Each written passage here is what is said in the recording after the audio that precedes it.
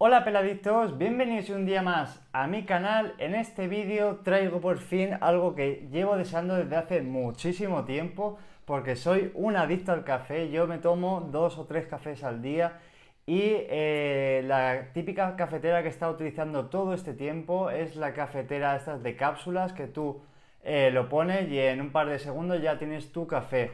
Eh, llevaba bastante tiempo buscando una cafetera de grano para poder hacer café en el momento, ya que las cafeteras eh, de cápsula para mí me sabían un poco mal, no, no tenía el sabor que a mí me gustaba. Y por fin he traído ya a mi canal esta cafetera que para mí es bonita, es funcional y tiene muchas cosas que os voy a enseñar en este vídeo para que veáis la buena cafetera que es este producto. La cafetera que me he comprado de la marca Cecotel, el modelo Powermatic 7000. Este producto lo que trae es entre ellos la cafetera, un espumador para la leche, eh, un latiguillo también que eh, conectará el depósito de la leche con la máquina de café con dos recambios. También traerá un cepillito para poder limpiarlo, una cucharita para el café en polvo, un cepillito para limpiar los conductos finos y varias juntas para poderlas sustituir cuando las que tiene la cafetera eh, se deterioren. Ahora eh, empezaremos con las partes que tiene esta cafetera. Empezamos por la parte superior, tendríamos el depósito de grano de café que como podéis comprobar tiene dos tipos una de ellas es el grano eh, que tendríamos normalmente y uno un poco más abajo es donde añadiremos el café en polvo. También tendremos una ruleta donde podremos modificar la cantidad de grano de café que queremos triturar. Si bajamos un poquito más abajo, lo que estaríamos viendo sería eh, los calentadores de las tazas. Lo que esto sirve es que cuando encendamos nuestra cafetera tendríamos eh, nuestras tazas en la parte superior y cuando vayamos a eh, preparar nuestro café la taza estaría a la temperatura ideal para saborear perfectamente nuestro café. Si nos vamos a la parte izquierda de la cafetera lo que estaríamos viendo es el típico depósito de agua removible para poder llenarlo de agua.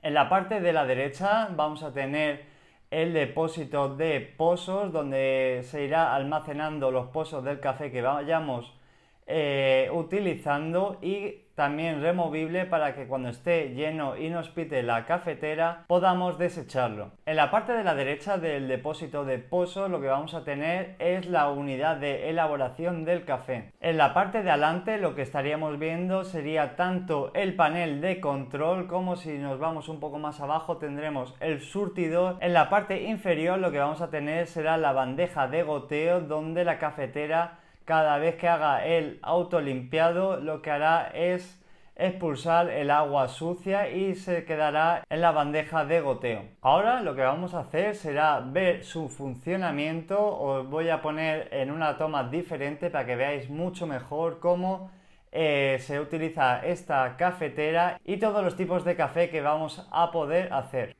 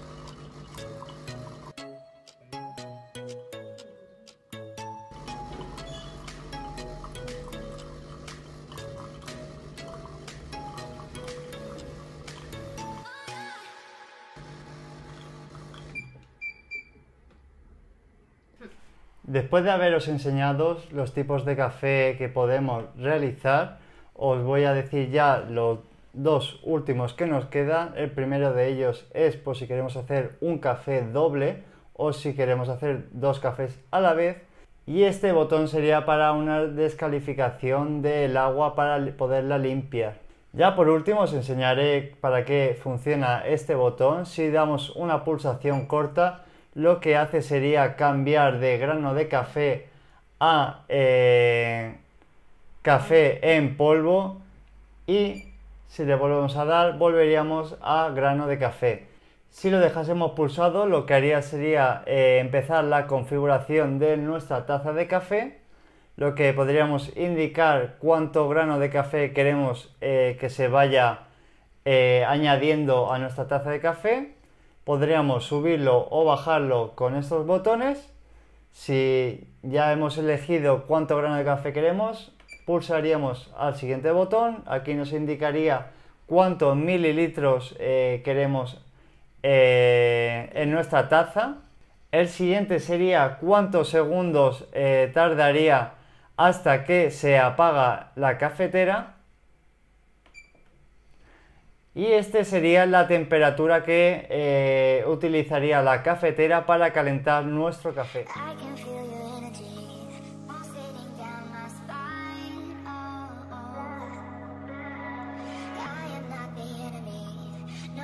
Bueno, por último, eh, os voy a decir las ventajas que tiene este producto en comparación con las cafeteras de cápsula la primera de ellas, y eh, por lo que he decidido esto, es su sabor. El sabor eh, cambia radicalmente, se va a notar mucho, ya que el sabor de estas cafeteras con las típicas que te tomas en una cafetería son casi nulas, es muy parecida. Y la segunda es el, el tema económico, sí que es verdad que siguen siendo cafeteras bastante caras pero eh, tenéis que haceros a la idea de que el café que estáis pagando por las cápsulas es bastante caro. Bueno, ya hemos terminado por este vídeo. Os voy a dejar aquí abajo el enlace de compra y ya sabéis que os ha gustado este vídeo, dadme un gran like, suscribiros a mi canal si aún no lo estáis y nos vemos en un próximo vídeo. ¡Chao!